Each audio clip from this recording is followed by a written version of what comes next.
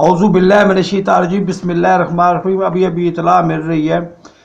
बड़ी मुतजाद ख़बरें मिलती हैं तहरीक लब्बैक पाकिस्तान के बारे में।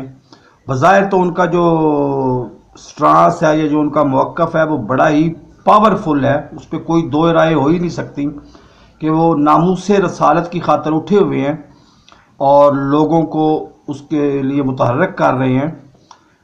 लेकिन वो पहली बात वो ये करते थे कि जी आ, आप फ्रांस के सफ़ीर को निकाल दें।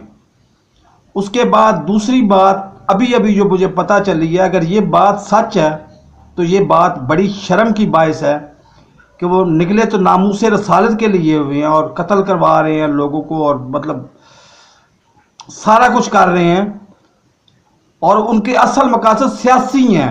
वो सियासत करना चाह रहे हैं, अगले इलेक्शन में जीतना चाह रहे हैं। तो ये बड़ी ही शर्मनाक बात है कि वो सियासत करना चाह रहे हैं इस मजहबी मौक़ की आड़ में। तो मेरे इस चैनल को अभी सख्त सब्सक्राइब नहीं किया तो सब्सक्राइब कर लें, साथ लगे बेल आइकन को दबा के नोटिफिकेशन को ऑन कर दें ताकि मेरी हर नई आने वाली वीडियो को नोटिफिकेशन आपको बर वक्त मिल सके। अल्लाह हाफिज़।